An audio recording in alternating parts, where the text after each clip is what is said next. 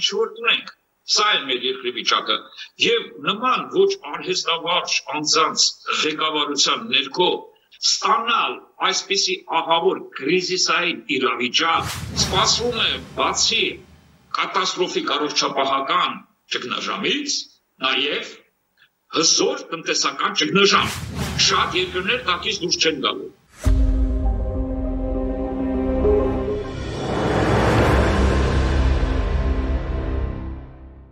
Բարև ձեզ, դուք հայլու առաջ եք, մենք աշխատում ենք արտակարգ ռեժիմի տակ, այսպես հերավար կապի միջոցով, այսօր մենք կապ ենք հաստատել Սլովակիա, իմ հյուրն է Եվրոպայի հայկական միության ֆորումի նախագահ Աշոտ Գրիգորյանը։ Բարև ձեզ, պարոն Գրիգորյան։ Բարև ձեզ, Տիկին Անջելա, բարև։ Շնորհակալ եմ, որ ընդունեցիք իմ հրավերը, այսպես ասած հայլու առաջ եք, պայմանական էլի, այսպես ասած հայլու առաջ եք դե ողջ աշխարհում տագնապ է տիրում ես հետևում եմ ձեր էջին, ձեր հրապարակումներին, ձեր ելույթներին, դուք ուշի ուշով ողջ process-ին հետևում եք, ոչ միայն հետևում եք, այլև ձեր առաջարկներով, ձեր խորհուրդներով հա հանդես եք գալիս, գիտեմ, որ բավականին ակտիվ գործընթացների process-ների մեջ եք, Նախ ինձ հետաքրքիր է թե ձեզ մոտ ինչ է կատարվում, ինչ տարածում է ստացել թե ոչ, խոճապ տագնապային տագնապ կա թե ոչ եւ ինչ կոնկրետ գործողություններ են արվում։ Բարև ձեզ եւս մի անգամ։ Շնորհակալ եմ հրավերի համար։ Ես էլ ասեմ, որ ուշուշով հետևում եմ հայլու առաջանքաշարի նոր ֆորմատով արձակած հերարցակումներին։ Քիչ եմ հետևում հայկական հերոստատություն կամ ընդհանրապես չեմ նայում, սակայն մեր ֆորումի անդամները, նաև Ամերիկա հայ կազմակերպությունները եւ այլն ձեր հաղորդմանը ակնդետ հետևում են եւ լավագույն հաղորդումները ինձ ուղարկում են WhatsApp-ով եւ իրենց միջոցով ես բաց չեմ ունում նաեւ ձեր հետաքրքիր ելույթները ասեմ որ ձեր հարցադրումը այսօր ամենաակտուալն է անկասկած ողջ աշխարհում հատկապես Եվրոպայում մեկ այո կորոնավիրուսը Եվրոպայում հայտարարակ տարածում ստացավ սակայն այն երկրները, որոնք ժամանակին արձագանքեցին, իսկ այդ երկրների առաջատարների ցանկում է Սլովակիա, կորոնավիրուսը նվազագույն տարածվեց։ Եվ իզարմաս ինձ Սլովակիայի կառավարությունը ոչ միայն կարողացավ 5.5 միլիոնանոց երկրում ստանալ այսօրվա դրությամբ ընդամենը 200 քանի 300-ի կողմ կորոնավիրուսով հարակվածների թիվ, որը ռեկորդայիններից է, այլև ոչ մի մարդ չգրանցեց այնուհետև կատարեց այնպիսի քայլեր, որը նաև կորոնավիրուսի հետևանքները, ի նկատի ունեմ տնտեսական, էկոնոմիկական արհամիլքը կրախի տեսքով, որ սպասում է երկրին, դա նույնպես կարողանան կասեցնել։ Փետրվարի վերջին շաբաթը դպրոցները չաշխատեցին Սլովակիայի։ Առաջիններ, առաջիններից էր Եվրոպայում, երբ որ Փետրվարի վերջին շաբաթը կասեցրեց ուսուցումը դպրոցներում, համալսարաններում ամենուր։ Ես մարտի 3-ին հանդես եկա արդեն Հայաստանում, ինձ զարմացրեց Սլովակիայի այդ արտակարգ քայլը եւ դիմեցի նամակով առողջապահության նախարարի եւ վարչապետ Փաշինյանին բաժին ուղարկեցի, որ հարգելիներս այնինչ որ ես հետևում եմ դուք կատարում եք ահա որ ոչ արհեստավարժ, ոչ մասնագիտական քայլեր եք անում։ Փակեցիք սահմանը։ Բայց նամակի տեսքով թե նախարարությունը պես նամակ ուղարկեցի։ Ուղակի նամակ, որի պատասխանը 6 օր հետո ստացա, ես առաջարկեցի անմիջապես մեր հետ կապի մեջ մտնել եւ Եվրոպայի հայկականությունների ֆորում եւ Ամերիկայի հայկական կազմակերպությունները միասին պատրաստեցին շատ լուրջ օգնության մի փաթեթ, որը նախատեսում էր ամերիկյան խոշորագույն մասնագետների խումբը Հայաստան ուղարկել, այն մասնագետները, որոնք հետևում են իրենց դիվանագիտական ներկայացուցիչների, ռազմական բազաների ապտակցությանը, պատկերացնում եք ինչ մակարդակի ճիշտ է, ես դա չէի գրել նամակի մեջ, ես նամակի մեջ գրել եմ, որ արտակարգ առաջարկություն ունեմ շատ մեծ օգնության։ Մոտ 6 օր հետո ստացվեց առողջապահության նախարարից պատասխան, որ իրենք ամեն ինչ ունեն, ոչ մի օգնության կարիք չունեն։ Դա փետրվար փետրվար ամսին։ Փետրվար։ Չէ, մարտի 2-ին մարտի 3-ին։ Փետրվարից ասեցրեց, ես տեսա արդյունքը։ Մենք կապի մեջ մտանք մեր հայկական կազմակերպությունների հետ Եվ նման առաջարկ ուղարկեցինք։ Այնուհետև ուսումնասիրել Սլովակիայի փորձը, որը ասում եմ, այսօր ֆենոմենալ արդյունք է գրացել։ Ուղղակի միանգամից դադարեցին։ Մի քանի քայլ կնշեք, բացի այն որ դադարեցին դպրոցների հաճախելը, մի քանի քայլ կնշեք։ Հաջորդ քայլը սահմանները անմիջապես փակվեց, նրանք, որոնք դրսում էին, ես օրինակ մի պահ Վիեննայում էի, սահմանների վրա պարտադիր մեր ջերմությունը չափումնոր էին ներս թողում։ Դա փետրվարի վերջի մասին է խոսքը, երբ որ հենց չկարածվի կորոնավիրուսը առանձնապես։ Հասկանում եք։ Այն այնուհետև անմիջապես հայտարարեցին, որ երթվեկությունը պետք է խիստ նվազեցնել քաղաքում, շփումները նվազեցնել, միանգամից հենց հայտարարվեց, որ բոլորը պիտի դիմակներ ունենան։ Ամբողջ ազգը դիմակներով սկսեց արդեն միայն դուրս գալ փողոց, ընդ որում չափազանց կարևոր գործերի համար էին միայն դուրս գալիս, որոնները անհավատալի բնապահ են։ Ընդհանրապես մի անգամ ասվեց, որ առանց դիմակի դուրս չգաք։ Բոլոր բոլոր փողոց դուրս եկողները նախ պակասեցին, իսկապես պակասեցին տեղաշարժերը։ Այնուհետև էկոնոմիկական մի քանի շատ կարևոր գործեր կառավարությունը արեց։ Հայտարարեց, որ ընկերությունների հարկերը եւ այլն ժամանակավոր դադարեցնում է գանձելը, այնուհետև վարկերը հանձնարարվեց բանկերին, որ բոլոր նրանք ովքեր դժվարանում են վճարել մի քանի ամսով մինչև 6 ամիս հետաձգել վարկերի բռնագանձումը։ Բոլորի նախադիր թե բոլորի նախադիր թե վարկերի դադարեցումը բոլորի նախադիր թե այդտեղ բոլոր նրանց ովքեր խնդրեմ ունեն եւ դիմում են։ Հիմա այս գործընթացը գնում է։ Այդ գործընթացը գնում է։ Հիմա տեսեք, այդ ֆոնի վրա մենք անմիջապես որոշեցինք մեր փորձը հաղորդել մեր երկրին, մեր ազգի անվտանգության համար։ Եվ մեր առաջին ամակը սա էր որ կարող ենք շատ արագ ուղարկել էքստրեմ էքստրեմալ արագությամբ անվճար որպես օգնություն շատ լուրջ խումբ ստացանք մեր ժողովական պատասխան այնուհետև մենք կազմակերպեցինք Հայաստանին առաջի անհրաժեշտության դեղամիջոցներ, սարքավորումներ եւ այլն պատրաստելու մեր առաջարկը եւ իմ երկրորդ նամակը ուրեմն եղավ ամսի 23-ին մարտի 23-ին 20 միլիոնի օգնություն Միացյալ Նահանգներից մեր կազմակերպությունների լոբինգի արդյունքում եւ պատասխան չստացանք, բայց ես նամակ արդեն ես Նիկոլ Փաշինյանին ուղեցի։ Ամսի 26-ին մենք պատասխանը չստանալու պայմաններում դիմեցինք վարչապետին, հայտարարելով, որ իմ ներկայացուցիչները Հայաստանում պատրաստ են անմիջապես հանդիպելու նրա հետ եւ նամակի մեջ հատուկ ես գրեցի, որ ձեր տեղակալների, օկնականների ոչ մեկը անունը չտա, դրանք բոլորը ոչ արհեստաբար մարդիկ են։ Մենք բարեհաճ ունենք պարոն Գրիգորյան, պարոն Ավինյանն է զբաղվում, գուցե հանձնարարել կամ գուցե դուք, չգիտեմ, ձեր ներկայացիչները հանդիպեին պարոն Ավինյանի հետ։ Հա, մենք պարոն Ավինյանի հետ բազմաթիվ հանդիպումներ ունեցել ենք ներդրամային ծրագրերով, եներել չեք ուզում շփվել։ Բացարձակ անկարող մասնավորություն է, որովհետև նրա նա ունի մի շեֆ եւ այդ շեֆը ամբողջ երկրի շեֆն է հասկանում ես սա հայտարարակ իրողություն է որ մենք անձը վերցրել իր վրա ամեն ինչ երբ որ իրան դիմում են ասում են բայց ձեր տեղակալները ոչ արհեստաբարժեն դուք ինչու եք ձեր տեղակալների վրա ուղղում ինքը ասում բայց ես էլ բան չեմ հասկանում մի անգամ այդպեսի բան մենք տեսանյութ պատկացրեցինք Facebook-ով հայտարարություն Նյու Յորքում տղաներից մեկն էր հարցրել Հայաստանի դառնուցավով ապրող, որ ինչու համար հոլդինգի առաջարկությունները դուք չեք քննարկում անձամբ, ուղարկում եք ձեր տեղակալների մոտ։ Չէ՞ որ ձեր տեղակալները ոչ արհեստավարժ են։ Աշինն ասում, բայց ես էլ եմ, ես էլ ոչ արհեստավարժ եմ, բան չեմ հասկանում։ Այսինքն մենք այսօր ունենք մեր երկրում այն ինչ որ ունենք Սա է մեր երկրի վիճակը։ Եվ նման ոչ արհեստավարժ անձանց ղեկավարության ներքո ստանալ այսպիսի ահավոր կրիզիսային իրավիճակ, երբ որ այդ առաջին ժողովրդի առողջապահական անվտանգությունը դրվել է խիստ մեծ հարցականի տակ։ Եվ երկրորդ, չէ որ ամենուր առողջապահական այս արհավիրքը բերում է տնտեսական արհավիր։ Շատ երկրներ տակից դուրս չեն գալու։ Տեսնում եք նավթի գազի գները ինչպես են եկել եւ մետաղների նաեւ այն, այն ինչով Հայաստանն է ապրում արտահանման եւ այլն։ Կապ ասած, սպասվում է բացի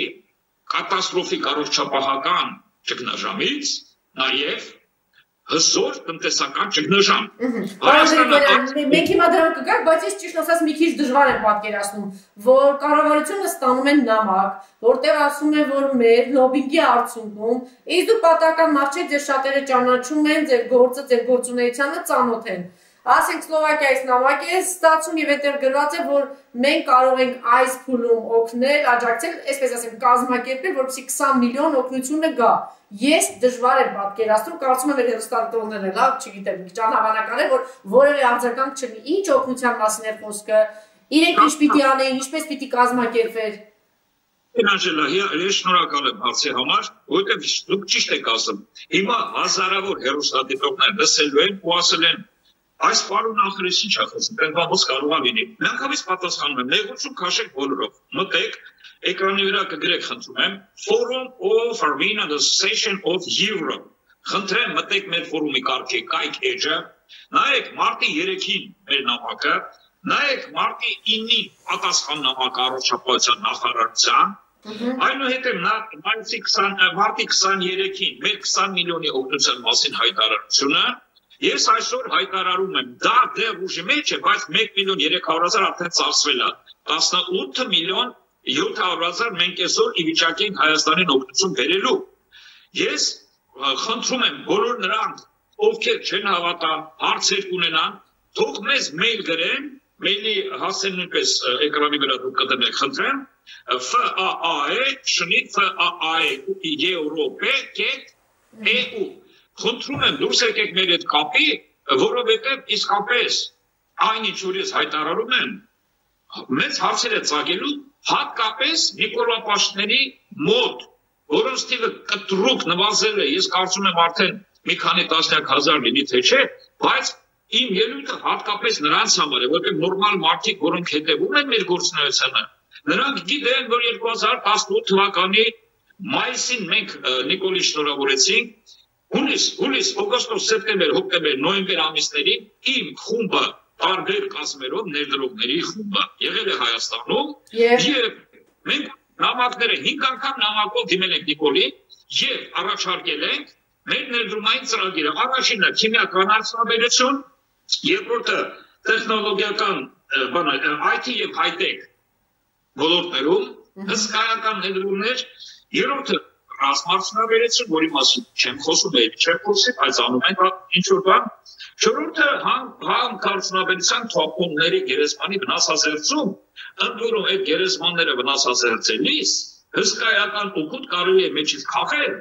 եւ դա ոչ թե ձրի անել նվեր, այլ շատ մեծ շահույթով անել։ Մեր մի քիչ շեղում, բայց ինձ հետաքրքիր է, այդ փուլում այդ առաջարկները ում եք ներկայացրել, դուք Հայաստանցի ձեր ֆորումի անդամներն էին, թե այնտեղ գործարաններ էին ներգրաված, ովքեր էին, եւ ում հետ հանդիպեցիք ու ներկայացրեցիք այդ առաջարկները։ Պատասխանեմ, ուրեմն մեր առաջարկները մենք ներկայացնենք ուղիղ վարչապետին, այնուհետև մենք մեր ֆորումի ներկայացուցիչները Հայաստանում եւ պրոֆեսիոնալ անձնավորություններ եւ մեծ կապերի մեր մարդիկ նրանք կարողացել են աշխատել Տիգրան Ավինյանի հետ Տիգրան Ավինյանը ընտրել է իմ խփին անգամ։ Այնուհետև մեր հիանալի աշխատելը, այ լավ լսեք, հիանալի աշխատելը էկոնոմիկայի նախարար Արծիկ Մինասյանը։ Փայլուն աշխատել մինչև հոկտեմբեր ամիսը։ Մենք մեր ծրագրերը ներկայացրել ենք։ Արծիկ Մինասյանը չտեսնված արհեստավարժ հանձնարարություն է էկոնոմիկական գիտությունների դոկտոր գիտեք։ Եվ նա ամեն ինչ կազմակերպեց, որ մեր ներդրումային ծրագիրները մաքսիմալ արագությամբ գնան։ Դուք չեք պատկերացնում երբոքվելության աստիճանը։ Ես մի երկու անգամ հերոստատեսությամբ ելույթ ունեցա հուլիս օգոստոս ամիսներին։ Եվ ամբողջ աշխարհի հայությունը դիմում էր մեզ, որ մենք ձեզ վստահում ենք, մենք պատրաստ ենք բոլոր մեր ներդրումային հնարավորությունները ձեր միջոցով Հայաստան ուղարկել։ Ճիշտ այնպես, ինչպես հիմա տեսնում եք ամերիկահայերը, կազմակերպությունները ամերիկահայ, դիմել են մեզ որ մեր միջոցով մցնենք Հայաստան։ Ընդհանրապես պետք է պետական հովանավորություն։ Այսօր նույն խնդիրն է։ Եթե Նիկոլ Փաշինյանը մեզ մակագրում է, որ այո, մենք համաձայն ենք եւ համագործակցելու ենք, մենք կար ժամանակամիջոցում կբերենք այդ օգնությունը, որը ժողովրդի համար չափազանց կարեւոր է։ Սակայն մենք ունենք այն դառը փորձը, որ մարդիկ ասում են՝ դուք մեր դիպից չեք, ուրեմն դուք մեր շամին եք։ Իսկական ՀՀՇ-ի հայտարարությունը ժամանակին ու մեր էջի մեր շամին է։ Ինչի հասավ ՀՀՇ-ն։ Երկիրը ինչի բերեց։ Նույն ճանապարհով գնում ենք այսօր։ Եթե դուք մեր էջի մեր շամին եք, ոչ, եղբայր չկանցել Հիմա եթե ընդունենք այս հաղորդումը դիտում է վարչապետը, վաղը իր տեղականին է օգնականին առաջարկում է կապվում են ձեր հետ Դուք արագ կազմակերպում եք այդ 20 միլիոնի օգնությունը տեղ է հասնում։ Ես առաջի քայլը իմ ներկայացուցիչներին անմիջապես ուղարկում եմ վարչապետի մոտ կրկնում եմ. Տիգրան Ավինյան չկա մեր համար աշխատել ենք հետո արդյունքը տեսա։ Նա ես ուզում եմ իջեք հետո հետո բացեք թե աշխատելու արդյունքում ինչ կնա։ Լավ, դրանք ասենք հիմա դուք ասեք, եթե այդպես ձեզ զանգ լինի, ապա ինչ ինչ քայլեր կնի։ Տեսները անմիջապես որոնք Երևանում են կհանդիպեն վարչապետի հետ կքննարկեն ծրագիրը կանենք այնպես, որ Վրաստանը նույնիսկ թույլ տա, որպեսի բեռը հասնի, դա էլ ենք մեր վրա վերցնում, կբերենք Երևան, կպայմանավորենք, որ մեկ օր, մեկ ժամ սահմանի վրա չպետք է բեռը կանգնի, որտեղ ունենք փորձ, որ բերը սահմանի վրա կանգնում է, որտեղ Հայաստանի ներսում դեղամիջոցների շատ մեծ մրցակցություն կա, գիտեք մրցակցության գլխին էլ որ օլիգարխները նստած, եւ դեղերը չանում են Հայաստան չեն մտնում։ Այդ պատմությունը առանցինը չեմ ուզում դրան անդրադառնալ, արդեն եղել 6 ամիս առաջ, եւ փորձից ելնելով Ամերիկայի կազմակերպությունները խնդրում են հստակ պայմանավորվածություն Հայաստանի կառավարության հետ մանավանդ որ այնտեղ նույնպես կառավարությունը պետք է ինչ որ հարցերում օգտակար լինի առաքմանը եւ այլն։ Դա հասկացա։ Հիմա ինձ հետաքրիր է արդյունքը ինչ թեմաներ էր քննարկվում պարոն Ավինյանի հետ, որ ասում եք տեղից չշարժվեց ոչ մի բան։ Ինչ էիք առաջարկում։ Կոնկրետ երկու ճյուղ ինչ առաջարկ ներկայացրեցիք, ինչ պատասխան ստացաք պարոն Ավինյանից։ Պատասխանում եմ։ Առաջին ամբողջ աշխարհը տեղյակ է թիմ արդյունավետության երականան այդ ծրագրին Մենք սկսում էինք ամենահեշտից, ինչու ամենահեշտից, որովհետև Հայաստանը լի է մասնակիցներով, որոնք որոնք սովետ չգիտեն ինչ անեն։ Մի մասը սևագործ բանվորություն է անում, տաքսեն վարում եւ այլն։ Նայրիտի տարածքի վրա մենք սկսում էինք կաուչուկի արտադրությունը 1 Եվ այնուհետև մի շարք արտադրություններ քինական այդ 80 հեկտարի վրա մենք պատրաստ էինք ներդրումներ անելու։ Պարոն Գրիգորյան, ես ճիշտ եմ հիշում, չէ՞ որ այս առաջարկը դուք շուտել էիք ներկայացրել։ Դե պարոն Տիգրան Սարգսյանի ժամանակին էիք այս առաջարկը ներկայացրել։ Ճիշտ եմ հիշում ես։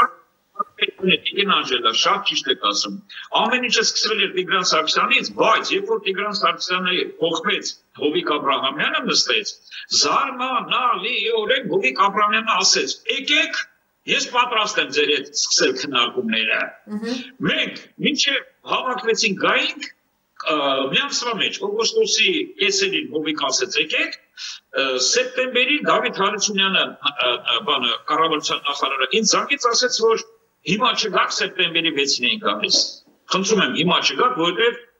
Կարեն Կարապետյանը նշանակում եկեք հոկտեմբերին հոկտեմբերի 6-ին 7-ին մենք Երևանում էինք Կարեն Կարապետյանը ընդունեց իմ պատվիրակությունը շատ բարձր մակարդակի վրա ֆինանսների նախարարի առաջին տեղակալ Դանա Միգեր, Սլովակիայի parlamenti նախագահ, որ ընդունեց հայոց ցեղասպանությունը, Պավոլ Հրուշովսկի, Սլովակիայի parlamenti էկոնոմիկական դեպարտամենտի նախագահ Մարուշ Կոնդրոտ եւ ինվեստորներ Բուլղարիայից, Սլովակիայից, Չեխիայից մի հզոր թիմ Բուլղարները հատկապես խոշոր կորպորացիա էր, որը զբաղվում էր քիմիական արդյունաբերությունների վերականգմամբ։ Եվ պատկերացրեք, Արենը մեզ ոչ մի խոստումներ չտվեց, ի տարբերություն Նիկոլ Փաշինյանի, որը սիրում է խոստումներ բան ու չանել, Կարենը խոստումներ չտվեց ու չարեց։ Ձեր հայելու առաջ հաղորդման մեջ առաջին անգամ ես հայտարարում եմ եւ բացում եմ կարտերս Մենք չտեսնված գործ ենք արել IT-ի ոլորտում։ IT տեղեկատվական տեխնոլոգիաների եւ high-tech-ի ոլորտում մենք չտեսնված ծրագիր ենք արել։ Իքեն Անժելա, օգտվելով առիթից լավ կբացեմ իմ ծրագրի փակագծերը։ Մենք պայմանավորվել ենք Եվրոպայության եւ Եվրասիական միության հետ, որ Հայաստանը դարձնում ենք դարպաս եվրոպական high-tech տեխնոլոգիաների եւ դառնում ենք կամուրջ Բրյուսելի եւ Մոսկվայի միջև։ Ինչ արձագանք Հայաստանից, Հայաստանի կառավարությունից։ Հայաստանի կառավարությունից ոչինչ չեն ուզում։ Այս, այ, այս հարցում ոչինչ միայն չխանգարեն։ Ինչ ասեցիք, չէ, դրա մասին եմ ասում։ Դուք ասում եք հանդիպեցինք պարոն Արինյանին, երկու կոնկրետ բան, հա, Նայիրիտում ինչ որ Լավ, որովհետեւ ես այդ հարցը պատասխանը հետո անցնեմ ես այսօր։ Այն ժամանակ մենք ներկայացրեցինք թիմ արդյունաբերություն նայրի նայրի տեսքով IT եւ high-tech մի նախադասությամբ ռազմարդյունաբերություն նույնպես մի նախադասությամբ հա թափոնների վերացում էկոլոգիական վիճակի լավացում նույնպես մեկ նախադասությամբ ես այդ բոլորը ունեմ մի քանի անգամ նամակի մեջ վարչապետի ուղղված գրանցված ով չի ալարում կարող է մտնել մեր ֆորումի էջը, որը ես ձեզ ասացի, հիմա նորից խնդրում եմ փոք ցույց տան, մտեք ֆորումի էջը ինչ որ ասում եմ ծայրից ծայր ֆիքսեք, որ մենք դիմել ենք մեր կառավարությանը ներդրումային ֆանտաստիկ ծրագրով։ Ընդ որում ես նորից եմ ասում, Բրազիլիայից սկսած մինչև Սուրգուտ Իսկ դիմում էին ասում են, խնդրում ենք ձեր թիմի մեջ մենք մեզ վերցրեք։ Նույնիսկ այդ թեմայի մասին եմ ուզում խոսել, ահա։ Էնե վերջացնեմ։ Նույնիսկ մարդիկ են եղել, որ իրանց փոքրիկ կարողացումներ, ասեք 50000 100000 դոլար ասել են, մենք կներդնենք Հայաստանի ներդրումային ծրագրերի մեջ, միայն մեզ պետք է որ կառավարությունը տա կանաչ լույս։ Ինչ լույս, ինչ լույս ձեր արժե վարվեց կառավարությունում։ Կարմիր։ Կարմիր։ Հույս կա կանաչ լույսի, չգիտեմ, իր կանաչ լույսի հույս ինչպես կանաչ լույսի հույս կա, թե հույս չունեք այդպես։ Հույս, հույս օգոստոս ամիսներին շատ մեծ հույս։ Բայց օգոստոս ամսին սեպտեմբերին ես կացա կառավարության իհա խայտարակ կարելի ասել ազգադավ պատասխան կոմպրոմատի տեսքով Ես կոմպրոմատ, որ 2004 թվին բայց էին թողել ադրբեջանցիները, երբ որ ես Հայաստան զենքի մեծ օգնություն ցուցաբերեցի, հսկական ռազմատեխնիկա եկավ Հայաստան եւ 2004 թվի նոյեմբերի 30-ին էլ ցեղասպանության հարցը անցկացրեցի parlamentum։ Այդ ժամանակ ազերիները թողել էին 1.5 րոպեանոց կոմպրոմատ, որը Սլովակիայի մի երկրորդական հերոստատություն 5 անգամ լուրերը սկսել էր դրանով, հայկական դրոշի վրա իմ նկարը այդ կոմպրոմատը թարգմանեցին հայերեն, գրեցին, որ սա 2014 թվի նյութ է։ Պատկերացնում եք ինչ